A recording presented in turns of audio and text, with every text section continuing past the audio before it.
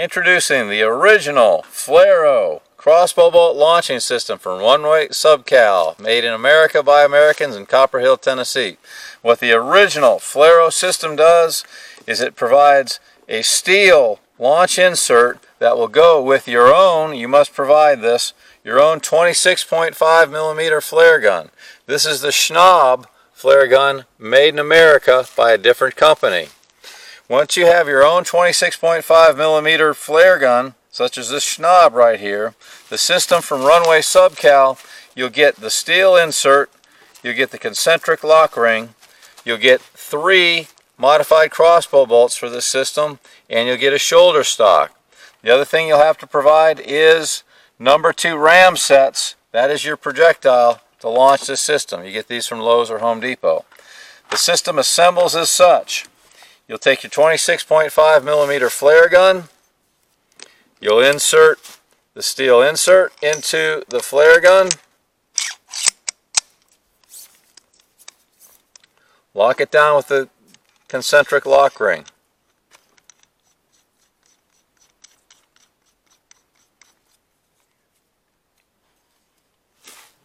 Install your shoulder stock as such.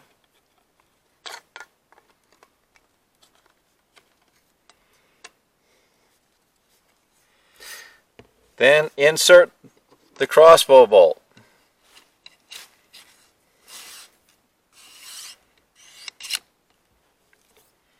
Okay, the way this launches is you'll install the number two ram set.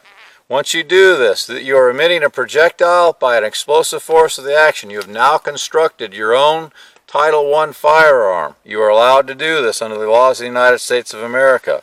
But all state and federal laws apply and all common sense safety rules apply as well. Insert your ram set, lock and load. You'll disengage your safety right here.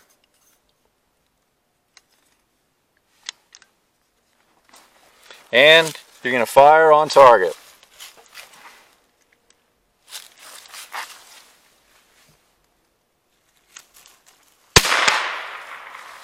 Bullseye.